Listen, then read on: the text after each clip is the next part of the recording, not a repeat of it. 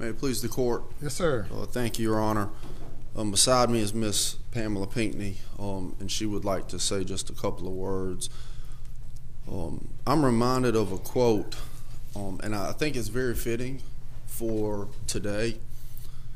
Um, it's that fairy tales don't tell children that dragons exist. Children already know that dragons exist. Fairy tales show children that dragons can be slayed.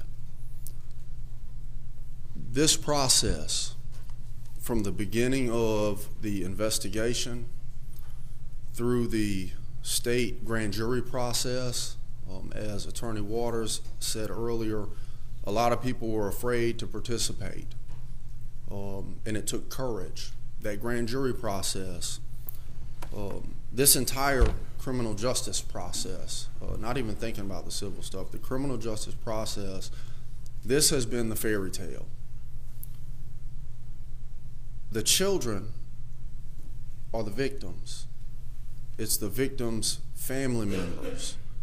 It's their closest friends.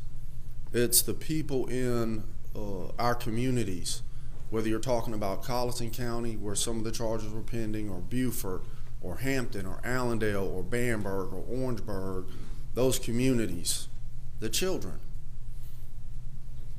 Today is such an important day because these victims, their loved ones, the community members, everyone knew that dragons existed. They've seen it. They watch TV, they read the newspaper. Everybody knew that dragons existed. Today, this sentence, Your Honor, will show all of them that dragons can be slayed. And that is important in our society. With regards to the sentence, and it's tough to uh, reach a decision and talking with the clients and explaining them what the options are, uh, we do support. We support the sentence. Um, it is a lot of time in the quote unquote legal white collar arena. Um, but there's another aspect to this.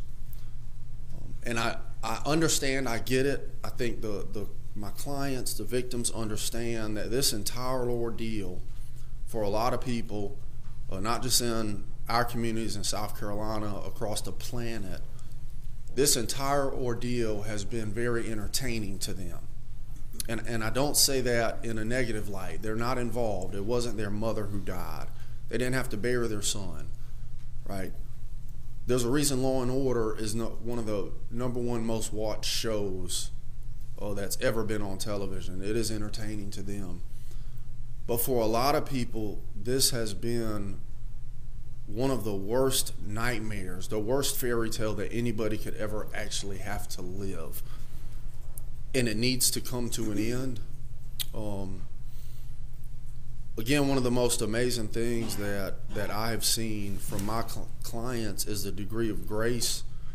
Um, what's the saying? Act justly, love mercy, and walk humbly with your God. And a lot of them live by that there are people who would have every reason and right to hate this man for betraying them, for what he did to their families. It's not just about money, these are not just names on a piece of paper or commas and decimal points.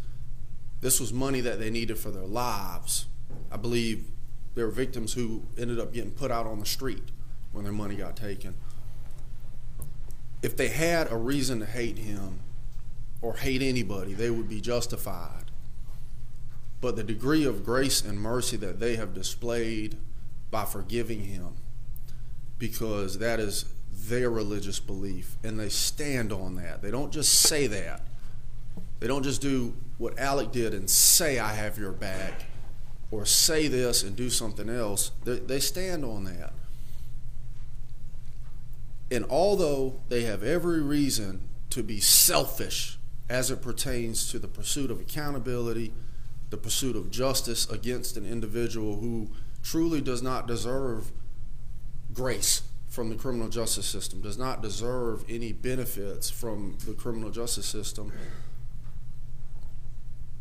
they're still willing to think about other people.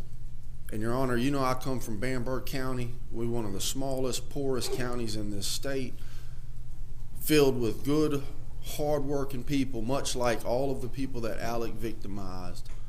Folks in Hampton County, folks in Allendale County, where literally you try to wake up, do the best you can do, keep a roof over your head, food in your fridge, and a couple of presents under the tree at Christmas time. These victims are also thinking about those communities, their neighbors. The reality is is that if Alec were to have individual trials on all of these charges, these victims' neighbors and friends and community members would also begin to suffer because those local governments, poor little Bamberg County, Allendale County, Hampton County, they're the ones who have to pay for it. The victims recognize that. I, as an attorney, recognize that. And based on the, the plea and the time that Alec is going to be sentenced, we understand. And there is a degree of value in finality.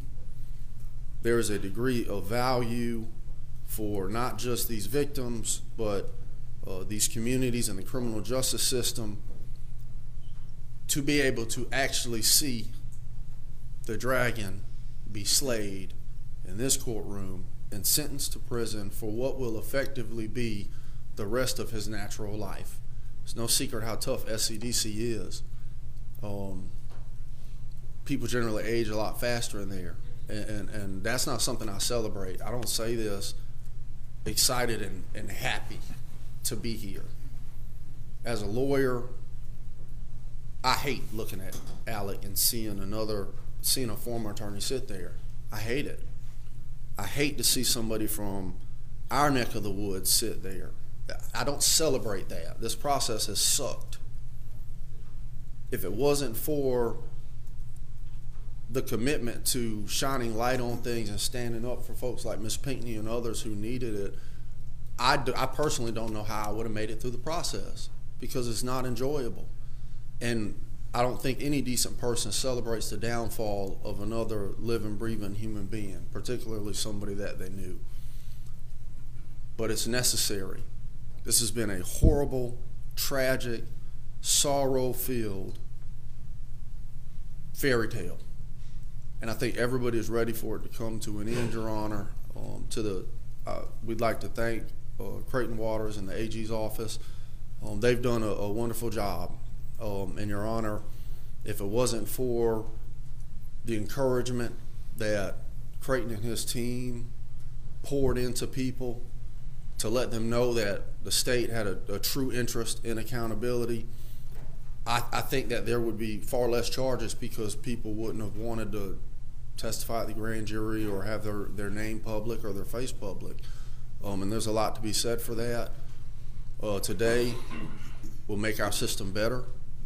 It will bring closure. Um, and ideally, it will deter others. Um, you know, there's a whole nother discussion that can be had with regards to um, the fact that 27 years in prison is a very, very large, as you heard, if not the largest amount of time uh, uh, someone labeled a white collar criminal could get in prison. But that's more so of a American criminal justice system discussion um, compared to some of the other offenses. Uh, but here today, I think that is a win. Um, my clients uh, support finality here, and um, I'd just like to thank you for all your time and attention uh, that you have given uh, this particular case. And um, at this point, I think Ms. Pinckney has something that she would like to say.